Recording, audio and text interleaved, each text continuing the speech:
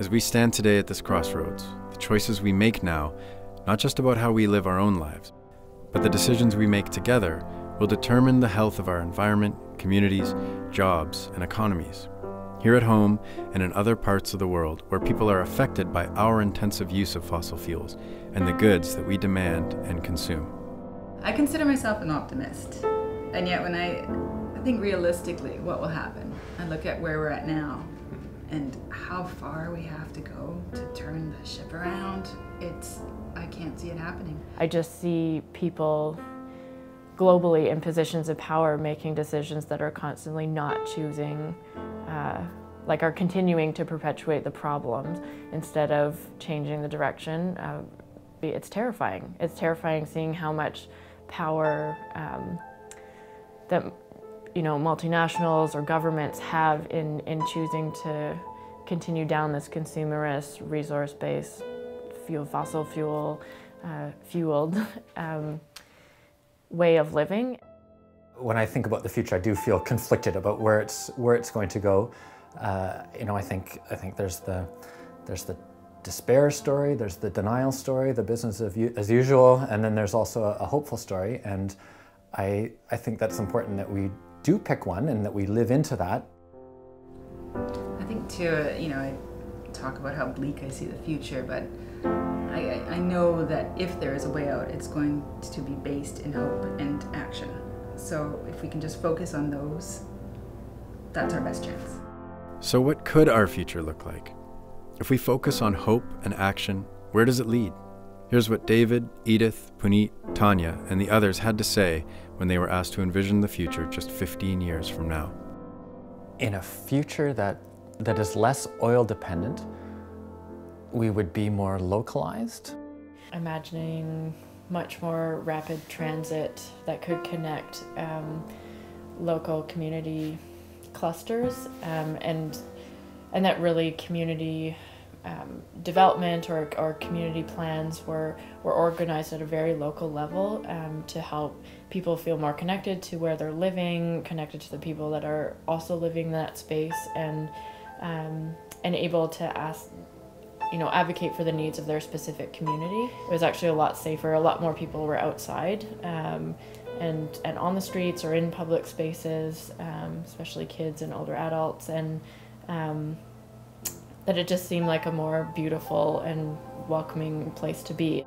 As I look to the future and I, I dream of the future and where it will be is, yeah, reconnection. People um, getting back to their communities and, you know, getting to know their neighborhoods again, their neighbors, and knowing where their food comes from. And um, that's where true happiness comes from, is that connection within the community, within their self. I hope I would like to see greener cities with more um, parks, more food gardens, and definitely we have to learn to slow down and appreciate nature and, and learn from it. I dream about a world where making legislation that doesn't consider the environment will be taboo. I would like to live in a future where we can be more integrated with, with our intellectual understanding of our, our world and our place in it, that we, we feel good about who we are and our place in the world, and our actions are also congruent with, with, with those. I think it'll be more healthy. Optimistic side is, um, like what did I see? I just saw like, um, like, like a happy planet. I think we're all thinking along the same lines. It seems like we all have the same vision. And so that is a really comforting idea.